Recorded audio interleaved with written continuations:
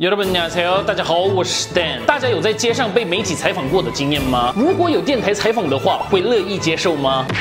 今天就准备了一下，因为在街上的一次采访而改变人生命运的四位韩国人。 第一年年的 eugen 二零一零年八月六号 eugen 接受了 nbc 电台有关炎热的夏日天气的市民采访。就在这六秒钟的采访因为他的声音跟当时的大师演员黄峥的声音非常像而且采访中说出的更加更加浓情的内容。这句话马上变成了网络上的流行语引起了非常大的话题。而且当时也因为发音清晰咬字清楚而受到关注的 eugen 二零一四年进入泉州电台成为了新闻主播。二零一六年转职到 jtbc sports 开始了运动主播的生活之后，在二零一七年与自己采访过的足球选手程秋结婚，目前过着非常幸福的生活。对了，在二零一六年的时候，有位创作者将他的采访片段编辑成一首歌的影片，也突破了四百五十万次的观看次数，让 Yu Young 再次受到网民们的关注了。就连 Super Junior 成员 Qiu 也在康熙档哼过了这首歌。第三，庞一东陈丽鸟，二零一四年参加迎新敲钟活动的时候，接受 YTN 采访的一般人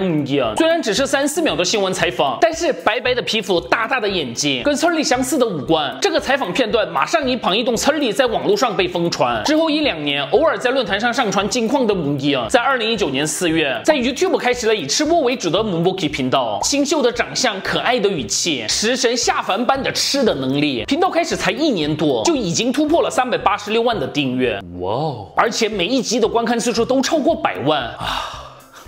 今年接受电台采访的高中毕业生，成为韩国最有名的女吃播主之一了。第二，抓强盗的暖男。二零一五年，当时就读于汉阳大学的一般人强东云，因为在便利店协助警方逮捕了手持凶器的强盗，而受到 SBS 电台的采访，也受到警察局的表彰。当时这个采访片段以及警察局 Facebook 上的这张照片，因为帅气的长相，在论坛上引起了很大的话题，受到了非常多的关注。之后，强东云被看到电台报道的经纪公司发掘，正式以演员出道了。在出演《不빨간사춘기乌九的去给 MV 之后，大幅提高知名度的强东云，在出道才三年的二零一九年，就在 KBS 电视剧《龙都卷》担任了主角，受到了非常高的人气。从平凡的大学生到韩剧主角，真的是因为一次的新闻采访改变人生命运的最佳例子。第一，美女演员韩가인。二零零零年初，跟 Kim Tae Hee 等被称为是韩国美女演员代名词的韩가인，高中三年级的时候，在教室里接受了 KBS 新闻的采访，马上这个端正清秀的长相横 扫了韩国论坛。当时正在看新闻报道的歌手出身经纪公司老板尹仓武，一下子就被韩干英的美貌给迷住了，马上亲自就找到韩干英的家，与父母亲碰面，传达了想要让韩干英出道的想法。但是当时韩干英是全校前五名的高材生，所以父母亲就拒绝了女儿的艺人出道。但是尹仓武跟经纪公司没有放弃，等了一年多，等到韩干英高中毕业之后，最终成功的让韩干英出道了。坚持就是胜利，因为几秒钟的新闻采访改变了人生的一般人，所以长得帅漂漂亮也是个能。力。